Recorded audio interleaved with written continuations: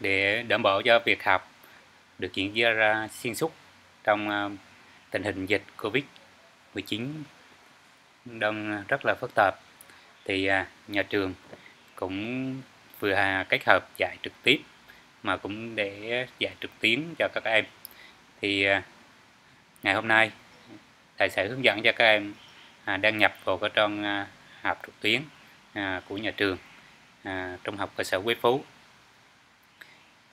thì để vào cái trang học trực tuyến, thì các em vào Google gõ là olm.vn đây là các em gõ olm.vn sau đó là vào bấm vào nút đăng nhập.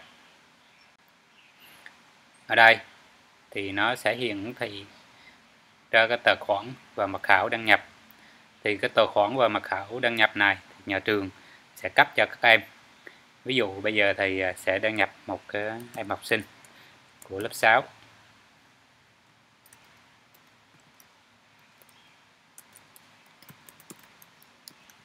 ừ.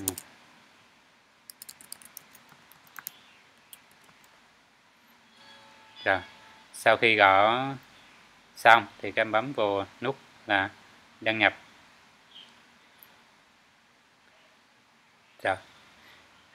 Sau khi đăng nhập vào thì việc đầu tiên là các em phải kích vào đây để kiểm tra cái thông tin cái tài khoản của mình. Đó. Các em xem thử là tay của mình có đúng hay chưa.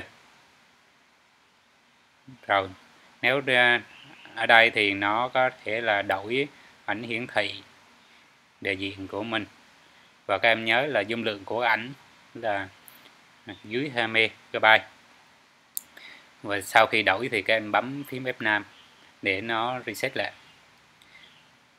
Và mật khẩu thì nhà trường cấp có một mật khẩu chung cho toàn trường. À, các học sinh tâm toàn trường và để đảm bảo được à, uh, bộ mật thông tin tài khoản của các em thì các em à, vào là đổi mật khẩu.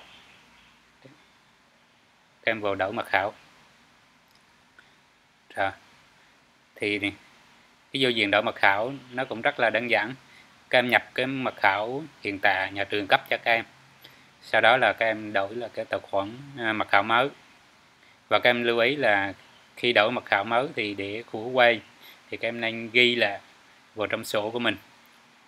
Để các em à, sau khi quay là các em có thể là à, lái lại mật khẩu vì cái trường hợp mà các em học sinh quay mật khẩu đang nhập rất là nhiều nên là khi mà đổi mật khẩu thì các em đổi một, một cái mật khẩu nào đó à, xong rồi các em ghi lại vào đâu đó để các em có thể là sử dụng nó là khi cần thiết khi quay mật khẩu khi đổi mật khẩu xong rồi các em bấm lưu thay đổi. Rồi đó là cái công việc đầu tiên khi mà các em đăng nhập vào là các em kiểm tra thông tin họ tên của mình có đúng với cái tên của mình hay chưa. Thứ hai là các em phải đổi cái mật khẩu À, đăng nhập của mình để bỏ mật cái tài khoản. Tiếp theo là các em vào cái lớp học của tôi. Đây, các em vào cái lớp học của tôi. Các em kích vào lớp học của tôi. Rồi, các em xem thử đây có phải là cái trường mà các em học hay không. Đó, ví dụ đây là một trường à, trung học cơ sở Quế Phú. Rồi sau đó các em kéo xuống dưới.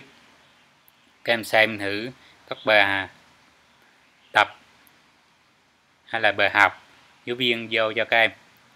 Thì đây là tên giáo viên vô hoặc là thầy à, cô nào đó vô bờ các em thì nó sẽ hiển thị đây. Và ngày vô bờ là ngày máy và thời giờ hòn làm bờ. Ở đây á, thì giáo viên có thể là cho thời hạn các em một ngày hai ngày hoặc là một tuần hoặc là không giới hạn thời gian miễn sao là các em à, hoàn thành bài đại học là được.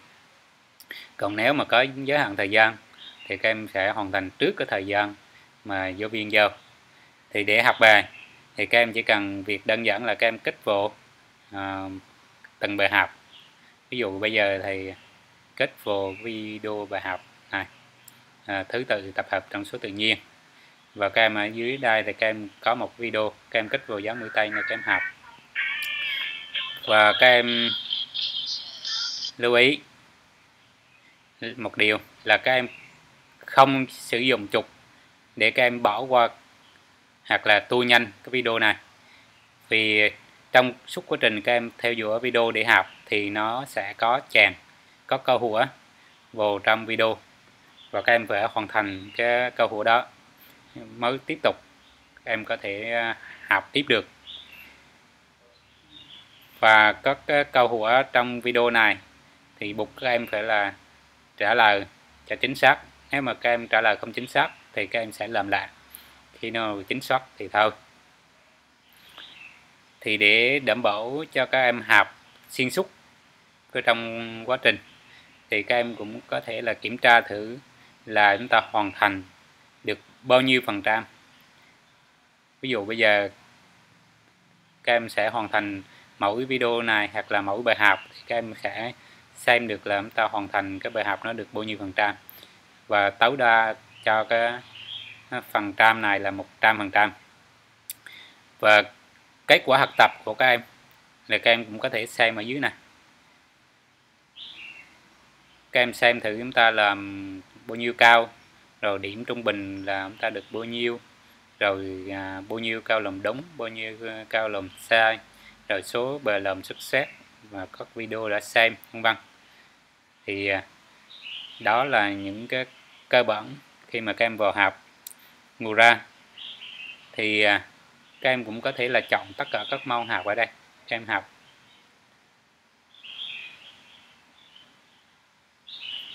trên đây một là một cái video ngắn hướng dẫn cho các em à, lớp 6 đăng nhập vào trong cái trang học OLM để các em học trực tuyến. À, video đến đây là kết thúc. Chúc các em à, có sức khỏe để chúng ta bắt đầu một năm học mới. Xin chào các em tạm biệt các em.